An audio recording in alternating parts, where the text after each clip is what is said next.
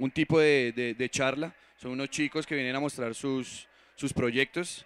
Se llama Barcam. Eh, van a haber cuatro proyectos, entonces vamos a ir presentando uno por uno. El proyecto de él se llama Domoteco y pues lo dejo con él para que les explique mejor de qué se trata. Bueno, eh, muy buenos días. Eh, mi nombre es Julián Darío Luna y pues hace dos años vengo desarrollando algo que se llama domótica. Eh, pues ya en este momento es como una realidad que es una empresa en la cual pues hemos, hemos ido avanzando con mi compañero John Freddy en, en, lo que es la etapa de desarrollo del producto como tal que se iría a comercializar. Eh, pues básicamente, ¿cómo hace uno para llegar a identificar una necesidad para un producto, una solución en el mercado? Eh, pues en la participación en, apps.co eh, nos enseñaron que pues, mediante la observación, eh, las encuestas o las entrevistas que uno le realiza directamente al posible cliente, es donde uno realmente se va a dar cuenta qué, qué, es la necesidad o cuáles son las falencias. En cuanto a eso, pues nosotros detectamos que las principales falencias que se identificaron en, en los clientes en común es en la parte de seguridad. La gente quiere eh, más que un lujo estar tranquilo, saber que en la casa todo funciona bien, que en la empresa funciona todo bien, que no hay riesgos. La parte de gestión de recursos también es una de las grandes falencias porque actualmente eh, no hay algo que regule de pronto el control de agua, luz y gas y es un desperdicio tanto de plata como en recursos naturales o como sea. En la parte de interactividad, la gente pues actualmente existen sistemas domóticos que pues sí puede que le respondan algo, uno le, le, emite un pulso, una señal y él va a retornar, pero más no es realmente interactivo como lo debería hacer con una persona, o sea, llevar más trabajo para que, o sea, lo que se pretende es una interfaz fácil para el usuario, pero muy robusta detrás de todo eso. Eh, la parte de confort, la comodidad de las personas es algo también primordial, aparte de la seguridad. Entonces, eh, nosotros como Domoteco, Integramos esas necesidades en la propuesta de valor para generar servicios como seguridad, control, multimedia y conectividad. Bueno, aquí pues eh, a grandes rasgos lo que sería eh, los principales factores que se ofrecerían dentro de esos servicios sería eh, la accesibilidad de un dispositivo móvil o de cualquier dispositivo que conecte a internet. La parte de personalización, como se lo había dicho, no solamente integrar un sistema que, que, sea igual a mi casa, sino que también se adapte a mis gustos, pero independiente en cada cuenta, dependiendo de cómo lo haya destinado el administrador. Casi se podría decir que es un sistema exclusivo para cada persona, ya que los planos son acordes a su casa no, o su empresa. Eh, el, ahorro, el ahorro económico se ve reflejado a partir de, los, de la gestión y la optimización de los recursos. Entonces, en la parte de pues qué ofrecemos, ya más en detalle, pues no va a entrar tampoco tanto, porque pues en el sistema de seguridad sería lo que son controlar las cámaras, eh, ver sensores de presencia, en fin, todo eso a través del dispositivo móvil y el aplicativo. Eh, la parte de control es donde lo que les estaba comentando, no solamente controlar agua, luz y gas, sino también aprovechar eh, las, las tecnologías inalámbricas para de esa manera ahorrar, eh, o sea, reducir las, las adecuaciones que hayan que hacer dentro de un, dentro de un inmueble o una empresa. En la parte multimedia eh, está la parte de integración de redes sociales, personalización y creación de ambientes. Bueno, también la parte de sonido y video por, por zona, donde uno puede decir, eh, yo quiero que acá suene tal cosa, pero si me voy para allá, igual él sea capaz de, de llevar el sonido hacia donde uno está. Y la parte de conectividad que pues trabaja con la principal eh, prioridad de nosotros es la reducción de, cableado y la disponibilidad del, software desde cualquier parte del mundo pueden llegar a ver su casa o su empresa de igual forma en tiempo real, tanto en video como en todas las acciones que vayan a ejercer sobre ella. Eh, software y hardware a la medida, eh, soporte y mantenimiento postventa y pues hasta el momento lo que ya tenemos es el prototipo que como lo pudieron ver ayer lo, estuvimos exponiendo allá, ahorita vamos y lo, volvemos a conectar para que ustedes puedan verlo funcionando y más o menos algunas de las funciones que, hasta el momento llevamos como controlar luces, controlar tomas, abrir y cerrar el portón, eh, sensar temperatura, poner música en diferentes partes de, la maqueta y pues la invitación es que ahorita pasen en un momentico para que la, vean. Nosotros en qué hemos participado hasta el momento. Eh, hasta el momento, pues en la edición del año pasado de Campus Party, en Bogotá, participamos también con la maqueta, en el proyecto, y también hemos participado en Fondo Emprender, en la convocatoria de apps, apps.co Vive Digital, en Santander, en el canal Tron, el Café de la Mañana, también nos han, nos han dado un espacio, en el periódico Gente de Cabecera también, un periódico local. Estas son algunas de las imágenes del anterior evento de Campus Party, en el cual pues el proyecto fue uno de los dos seleccionados por los, por los organizadores del evento para exponerse al presidente, al igual que al ministro. Eh, también está Burton Lee, que es un líder de innovación a nivel mundial en la parte de tecnología. Está John, John Hall, está allá.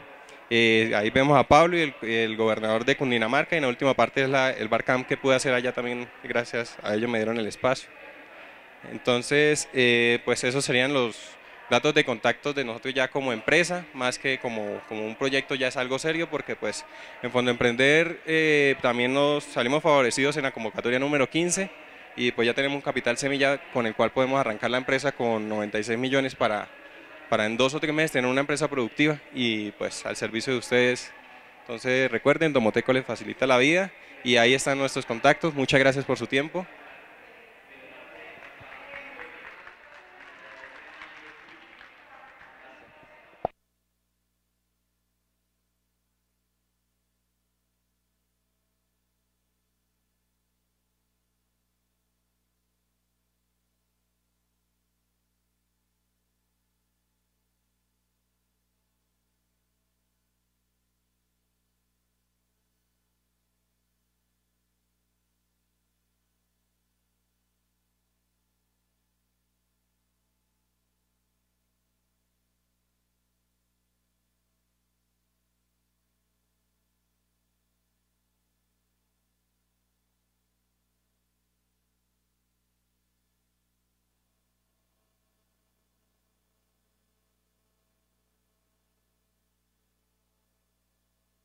Buenos días.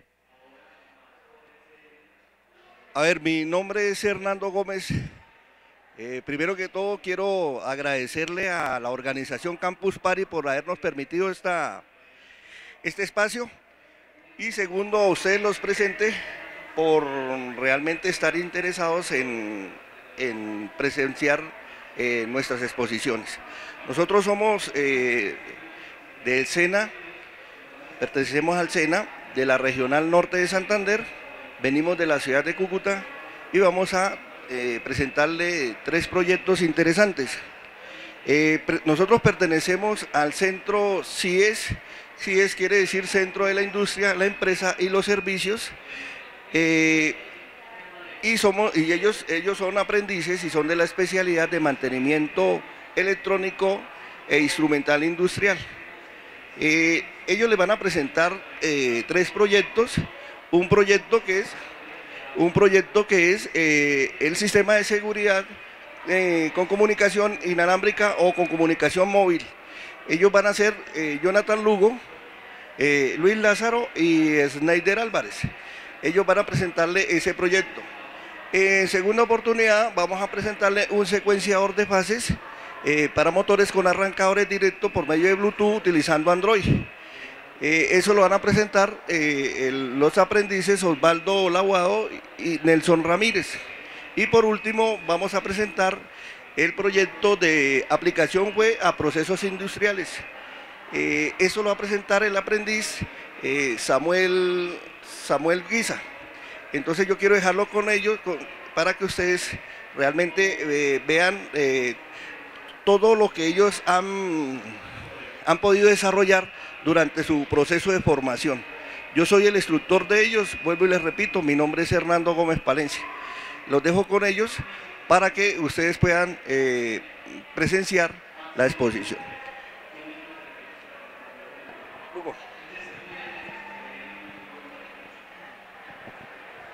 Eh, buenos días, mi nombre es Jonathan Lugo, eh, como ya habló el ingeniero, soy de la Región Norte de Santander. Eh, le vengo a explicar el sistema de seguridad con aplicación móvil.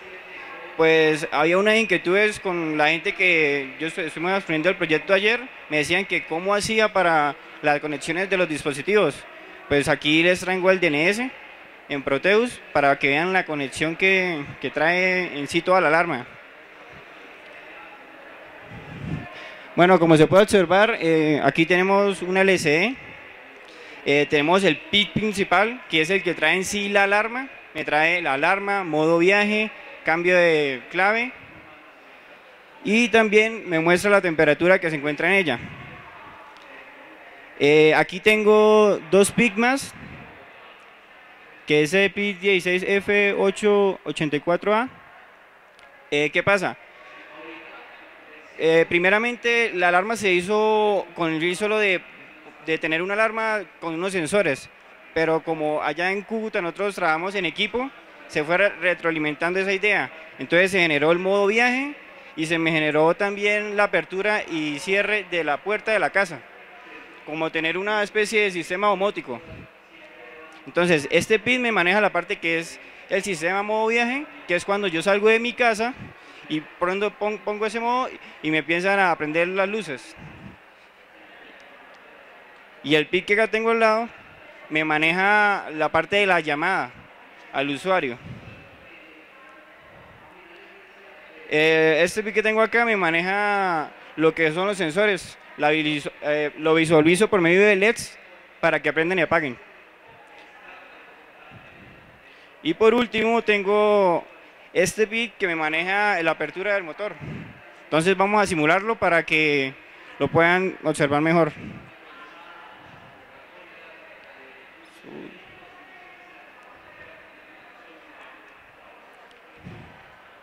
Bueno, aquí ya tenemos, eh, ya podemos abrir y cerrar la puerta y podemos simular que una persona llega a mi casa. Ahí está cargando todavía el, programa porque siempre tiene bastantes cosas. Digite 8, entonces oprimimos 4 y vemos la temperatura, está a 29 grados. Y pues le quiero mostrar aquí que no, o sea, todo lo que le estoy mostrando acá en simulación está aquí en la maqueta. Voy a abrir la puerta.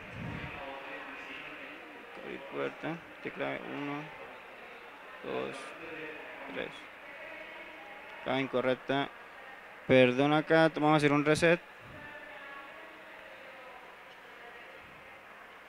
El clave.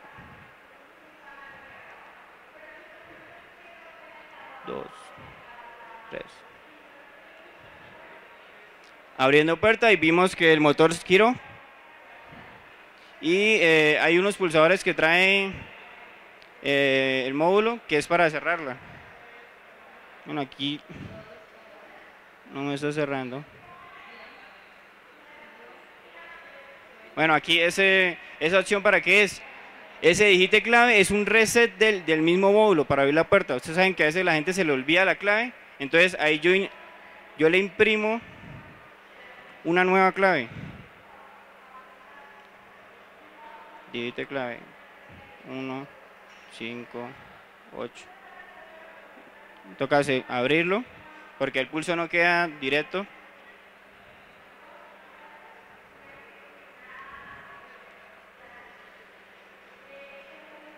Y por, bueno, por último le voy a hacer la simulación en la alarma porque ya tiene varias cosas, pero por tiempo no creo que alcance.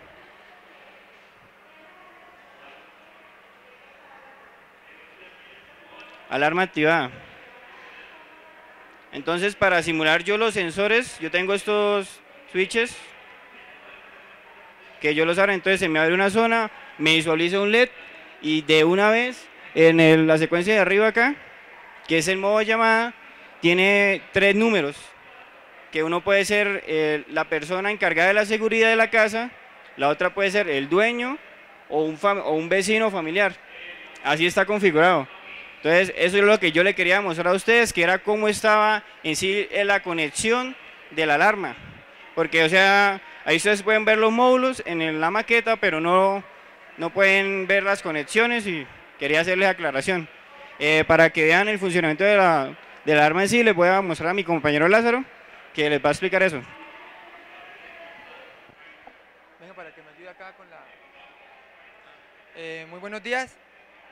Mi nombre es Luis Lázaro, soy compañero de él, igual aprendiz del SENA de la Regional norte, eh, Cúcuta, norte de Santander, y yo le voy a y yo les voy a mostrar el funcionamiento práctico ya de la maqueta.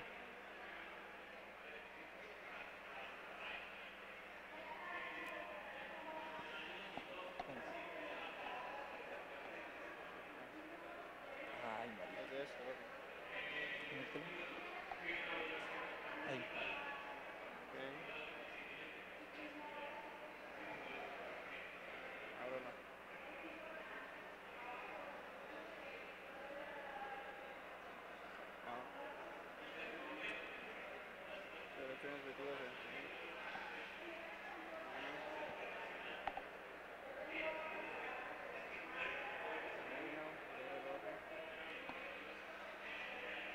Eh, como vemos, esta es la parte principal de la alarma. Eh, nos salen cuatro opciones, que es la alarma, modo viaje, cambiar la clave y la temperatura. Eh, si presionamos el 4, vamos a tener en la casa la temperatura actual, igual como nos muestra, estamos a 20 grados centígrados. Mm, listo. Eh, la opción de cambiar clave, que es cuando, por ejemplo, se nos olvida o no tenemos memoria para recordar, entonces ahí podemos cambiarla. Eh, la segunda opción, que es modo viaje, lo activamos.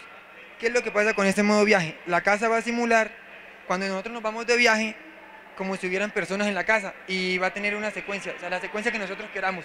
Podemos prender desde luces hasta aparatos electrónicos, como sea televisores, grabadoras, equipos aire acondicionados y va a estar constantemente encendida. Cuando tengamos activado el modo viaje, la alarma no va a estar funcionando. Bueno, mm.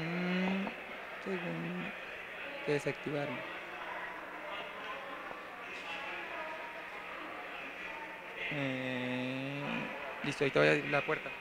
Eh, aquí en el segundo circuito que tenemos nos aparecen dos opciones, que es abrir la puerta o dos, tocar el timbre. El timbre es como una especie de alarma que vamos a tener internamente.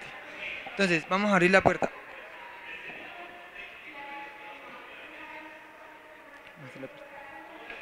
Entonces, ahí como vimos, la puerta se abrió. Para cerrarla, este.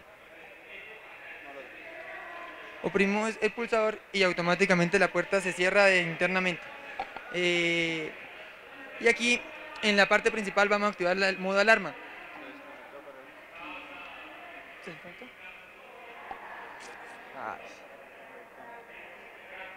Espere, suelta acá.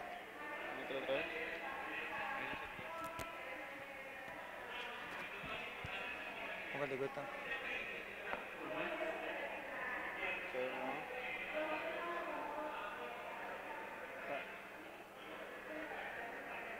Ahora muestre. Eh, aquí nos pide eh, digite clave.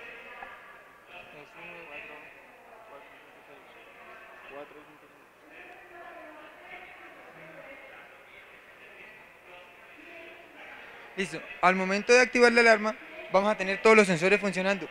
eh, dependiendo de ventanas, puertas, al momento de que se abra cualquiera o cualquier sensor se active, aquí en los pilotos que tenemos acá, nos va a mostrar por qué parte fue que se abrió. Si abrimos esta puerta, nos va a mostrar. ¿Qué pasa? Al momento de, de que se active el sensor, vamos a recibir dos, tres llamadas de acuerdo a la programación que nosotros le queramos. Aquí, como vemos, ahí llamamos a la primera persona. En el caso de que esa persona no conteste, va a ser una segunda llamada. Eso lo hacemos por un sistema GPRS que a continuación nuestro compañero Snyder nos lo va a explicar.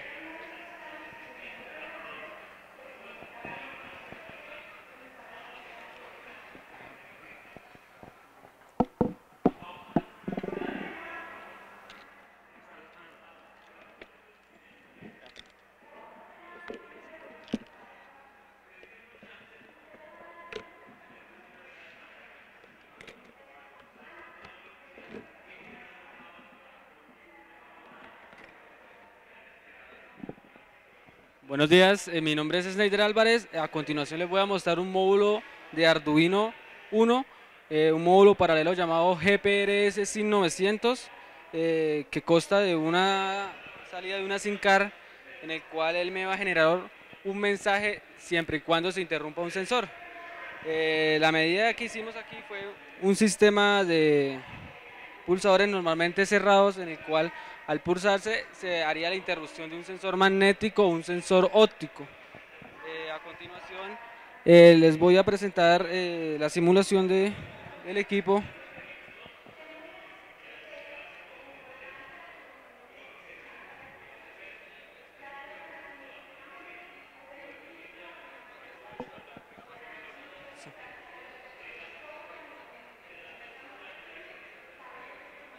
Eh, él consta de un radio de, de carga de 30 segundos, mientras que sea como...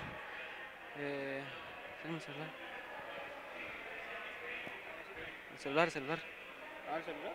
Pero usted ponga la videocámara para que ellos miren la llamada. Ah, bello. Sí. Eh, bueno, ya está listo. Eh, ¿Qué más le puedo comentar de él? Es un módulo que trabaja a 900 MHz. Eh, se puede instalar cualquier SIM card, SIM de móvil. El módulo tiene las propiedades de enviar un Gmail, eh, de proporcionar una llamada, eh, de hacer llamadas, de dar una llamada perdida en el caso del módulo de la alarma, como ya ustedes lo pudieron ver.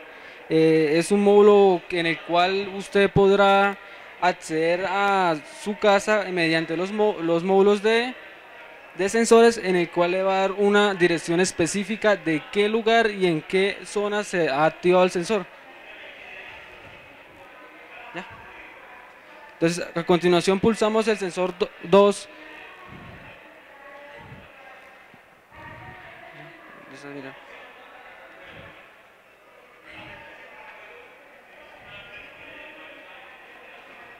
A continuación nos ha llegado un mensaje que nos dice, bienvenidos a Campus Party, eh, su alarma ha sido activada en la oficina. O sea, que, con esto, ¿qué, se quiere llevar? Eh, en el sentido de, la configuración de la alarma, esta es la mejora en el cual uno puede saber en qué, en qué lugar y en qué zona se ha activado la alarma. O sea, eh, un ejemplo sería, si, si se activó una oficina o puerta principal, usted va a saber cuando usted haga una llamada a, un- a la policía, usted puede automáticamente decir en qué zona está o en qué zona le han infringido la, en su casa. Eh, hicimos siete simulaciones, seis simulaciones, y en el cual esto tiene una extensión hasta de 50, 60 entradas de sensores, en el cual le va a poder leer la tarjeta.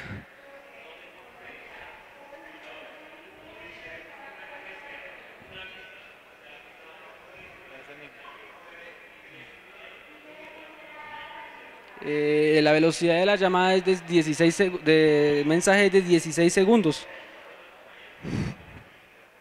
Increíble, madre. ¿Qué pasó? ¿Cuál es? Ah, sí, se apagó el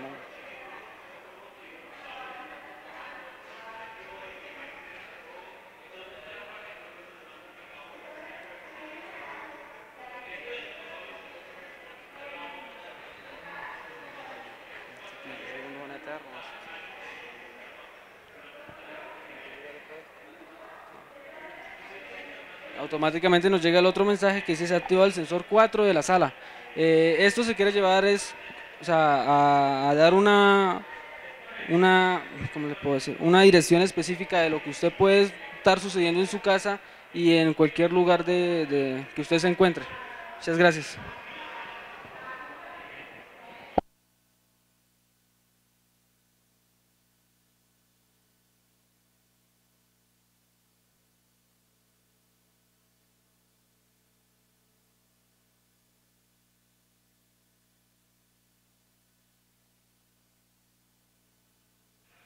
Pero por detrás.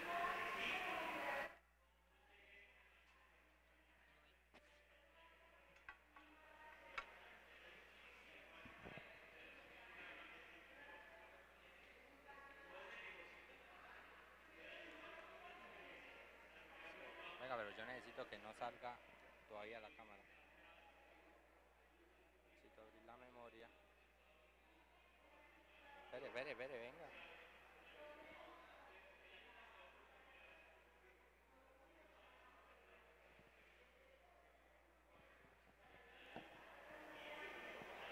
Buenos días, mi nombre es Osvaldo Laguado, vengo a hablarles sobre este módulo que podemos observar. Es un módulo trifásico eh, a 220 entre línea y línea. Eh, este módulo se, se divide en dos, en dos cuestiones. Está lo del análisis de las fases y está lo del arrancador directo por medio de un Bluetooth que se hace una aplicación por Android. En este momento les voy a explicar lo, de, lo del secuenciador.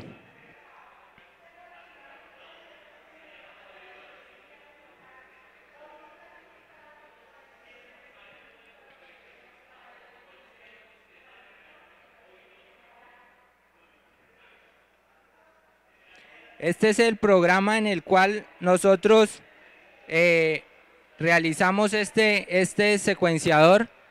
En este programa podemos ver el encabezado, lo que eh, nos va a imprimir en este lado de la pantalla eh, de la LC cuando él inicie y lo de donde me da a identificar las fases dependiendo si las fases están bien o son correctas o incorrectas. Eh, esto se hace con una función que si la fase es menor, que si el dato es menor o igual a 100, que me diga dependiendo de, de cómo estén las fases. Vamos a mirar el Proteus y lo simulamos.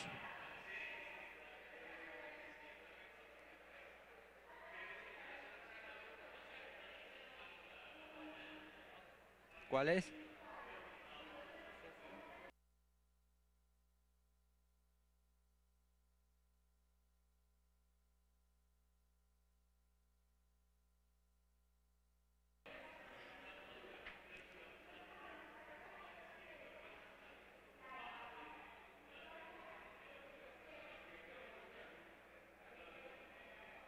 Esta es la parte del, del- circuito del secuenciador montado en, en Proteus. Podemos ver las tres fases que, que nos entran al módulo.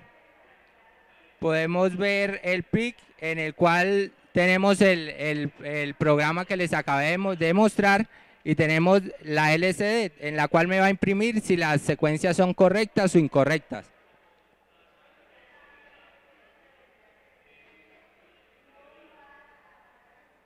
Como podemos ver, en este momento me dice que las secuencias están incorrectas porque hay una fase que no la tengo conectada. Me dice que los voltios son de 77.6 voltios. ¿Por qué 77.6 voltios? En el programa yo les mostré que si, que si la secuencia era menor a 100 que me la tomara incorrecta. Eso es lo que está haciendo el, el módulo. Entonces el módulo me reconoce que son 77, 77 voltios los que le tengo. Entonces de una vez me dice que la secuencia está incorrecta.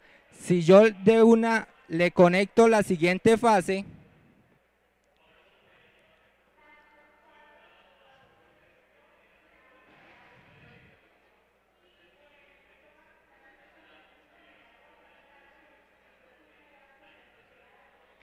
y simulo, de una vez me va a decir que la secuencia está correcta y que tengo 220 voltios en la entrada. Entonces esto es un sistema de seguridad para motores trifásicos eh, en cualquier empresa industrial. Esto se hace con la necesidad en la región donde, de la cual venimos por medio de, de- de, por ejemplo, si alguna, tenemos algún motor conectado a alguna banda transportadora, estos motores no me pueden invertir el giro por, llegado al caso, perder alguna producción a realizar. Entonces, esto se realizó de este modo. Ahorita mi compañero les va a, a explicar lo que se hizo por Android para arrancar el motor.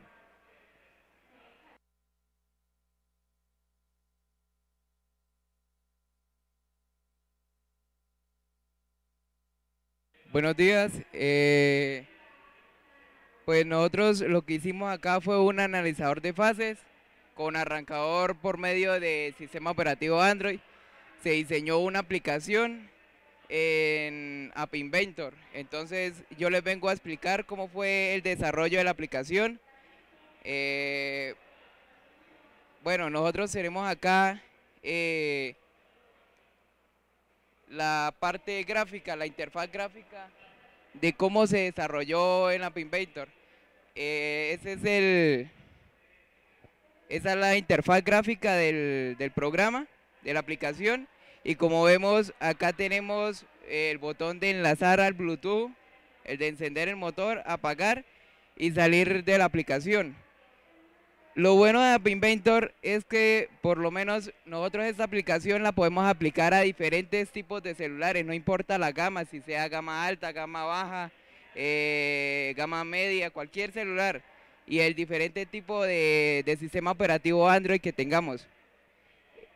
Después de que nosotros hacemos la interfaz gráfica, eh, le agregamos fondos, le agregamos imágenes, colores, lo que queramos.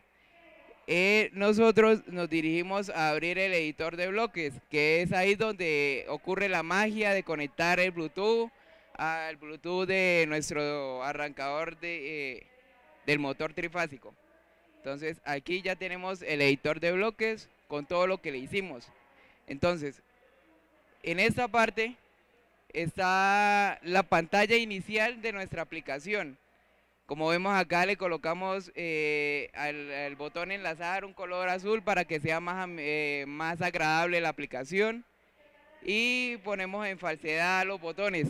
Hasta que no se enlace, no hay, no, esos botones no están conectados. Entonces aquí es donde viene la aplicación de Bluetooth, a, conectarlo al Bluetooth del, del arrancador. Entonces le damos buscamos una opción que se llama enlazar y le damos conectar a la dirección de Bluetooth, que es la dirección que aparece allá en el secuenciador de fases. Después de eso, eh, le decimos que nos inicie los diferentes botones como apagar, encender, le damos falsedad, le damos verdad, ¿sí? los diferentes valores lógicos para la aplicación. Y eh, después de que ya enlazamos, ¿sí? En los botones, que son estas, estas líneas de código, les decimos que nos envíe un texto diciendo que es E. ¿Por qué? Porque es lo que nosotros ya hemos programado en el microcontrolador para que funcione. Y pues le decimos falsedad verdad para que nos desactiven o vuelva a activar un, un botón determinado.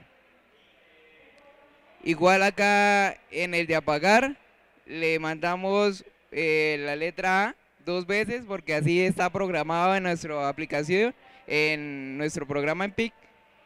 Y pues después de que enviamos esas dos letras, él se nos va a pagar dependiendo de qué función le enviemos. Lo mismo acá, aquí este es el botón de, salida de la aplicación, por lo que ya Android eh, mantiene como es multiplataforma, múltiples funciones, múltiples aplicaciones. Entonces le tenemos un botón para salir y que no nos quede abierto en aplicación y nos consuma recursos del celular. Y aquí le decimos closer y que nos desconecte el, Bluetooth. A continuación le vamos a, a exponer cómo quedó en vida real el proyecto.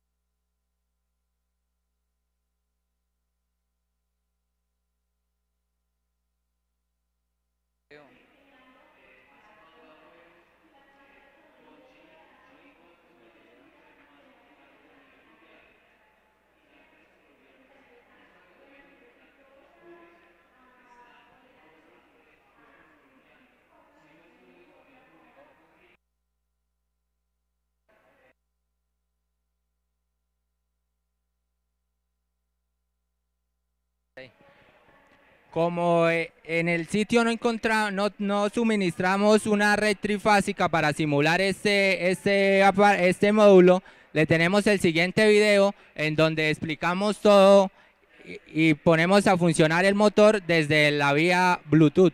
Entonces, los dejo con el video.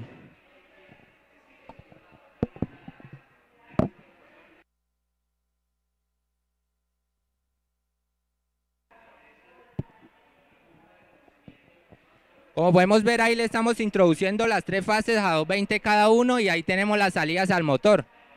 Ahí tenemos el motor, los indicadores LED que me van a decir cuando el, motor está encendido o apagado. Ahí empezamos a, conectar las tres fases. Como vemos eh, los pilotos de las fases se, se encendieron. Estamos a 220, iniciamos el módulo. Me dice que la secuencia está correcta. Vemos el LED el LED blanco que me indica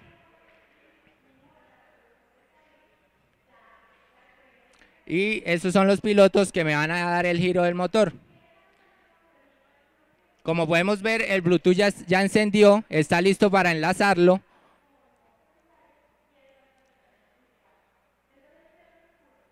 Ahí tenemos la aplicación realizada por Android, la que le acaba de explicar nuestro compañero.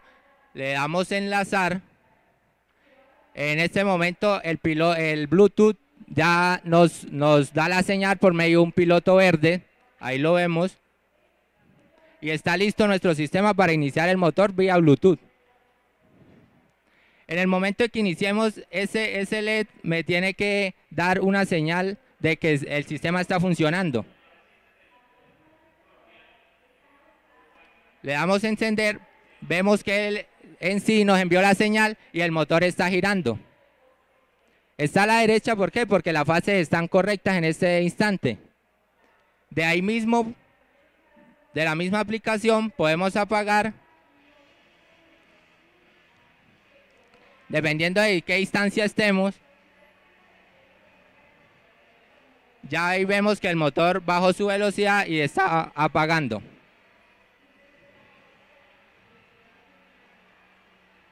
Entonces, esto es una aplicación realizada en las aulas de clase, en el SENA, en la Regional Norte de Santander. Espero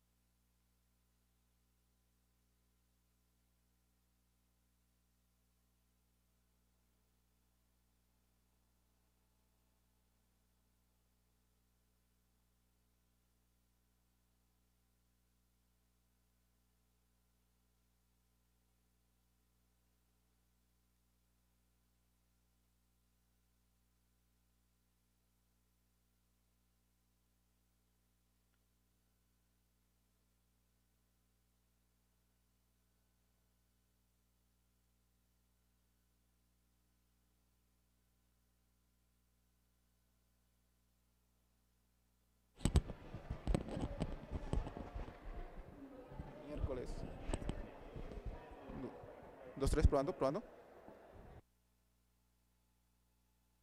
Probando, probando. Dos, tres, ¿sí? Perdón.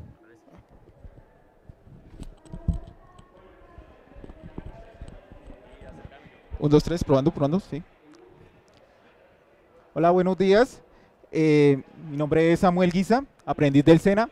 Nosotros llevamos año y medio de formación en el SENA y y hemos logrado este, una aplicación web para procesos inalámbricos industriales. Eh, eh, un ejemplo aplicativo, pues nosotros escogimos un variador de velocidad inalámbrico eh, para hacer esta aplicación web.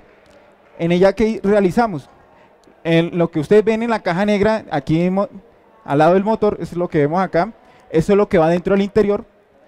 En el interior de ella, pues, hay un módulo importante que es el módulo SB, que nos permite la comunicación inalámbrica. Eh, este proyecto pues es bastante recursivo.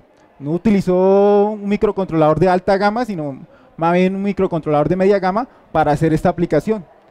Eh, esta tarjeta pues la compone un puente rectificador eh, para que necesita una fuente DC, un interruptor de potencia que nos permite switchar y variar la velocidad por el método de modulación por ancho de pulso.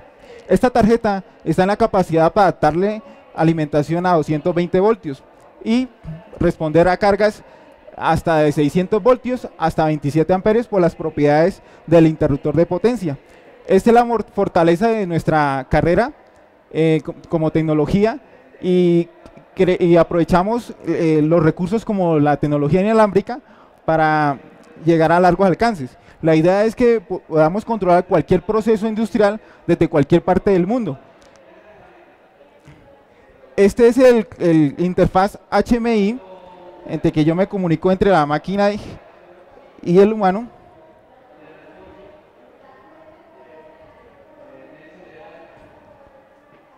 Eh,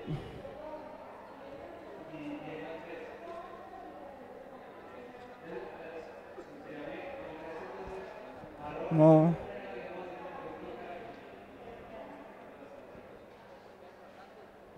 ¿Mm? importante. Bueno, entonces eh, tengo una interfaz HMI.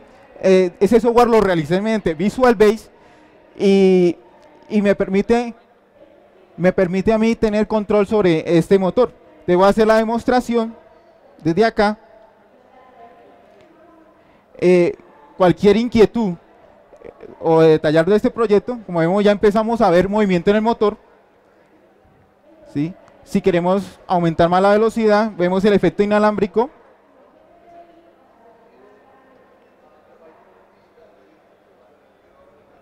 Bien. Eh, me gustaría tener como entrada del videobin para hacer la aplicación web, porque la gracia es ver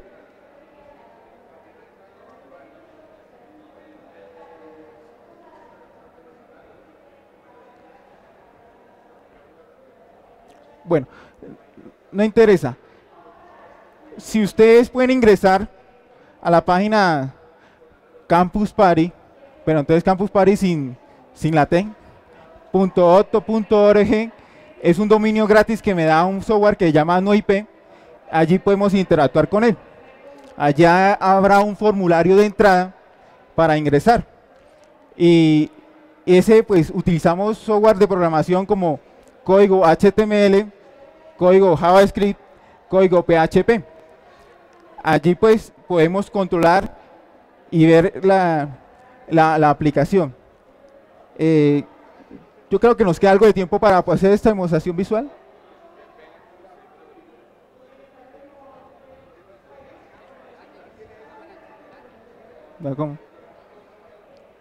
Bien.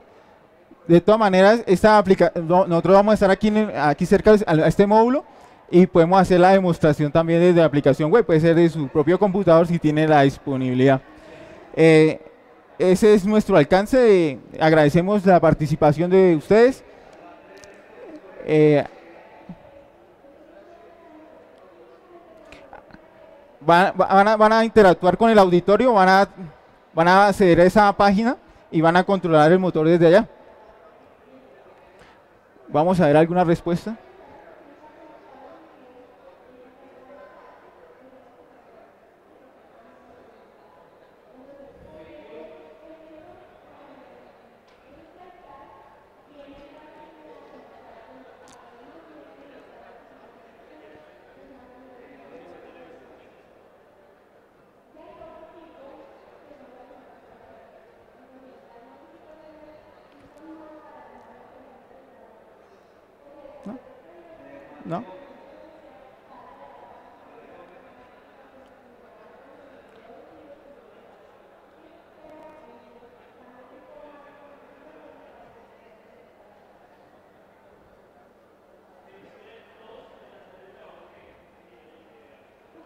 Bueno, la página que tenemos es más o menos así el enlace de entrada.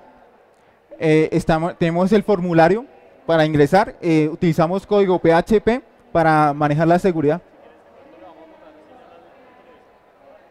Bien.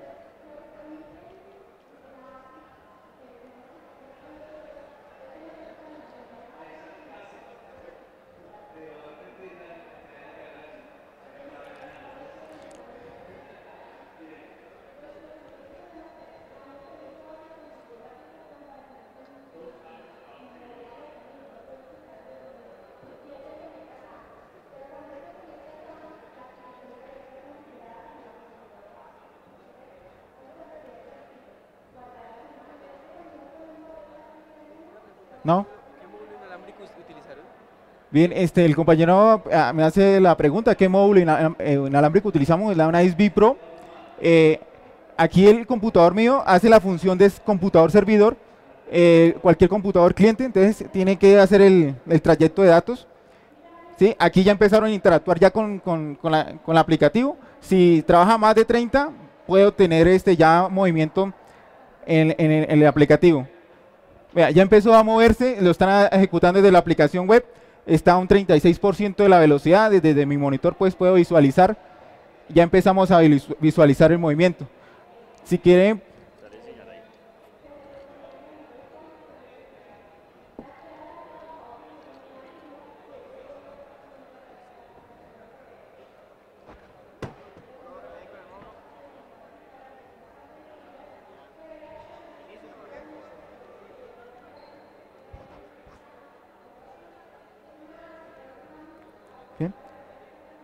¿Lo mato?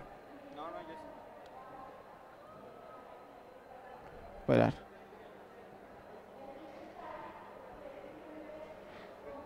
Sí. Bien.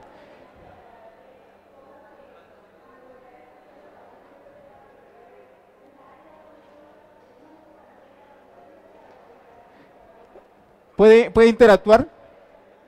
¿Sí? Eh, la persona nos puede decir a qué valor tiene el- la velocidad, el porcentaje de velocidad. la-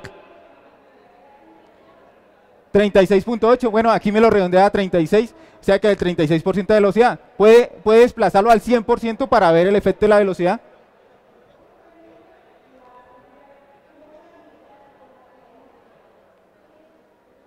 Eh, perfecto. Ahí lo tiene al 99% de la velocidad y vemos el efecto.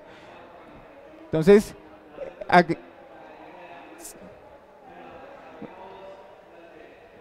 creo que. De todas maneras, estaremos disponibles los módulos acá para que estén más interactuando con, con este proyecto y vean la, la aplicación.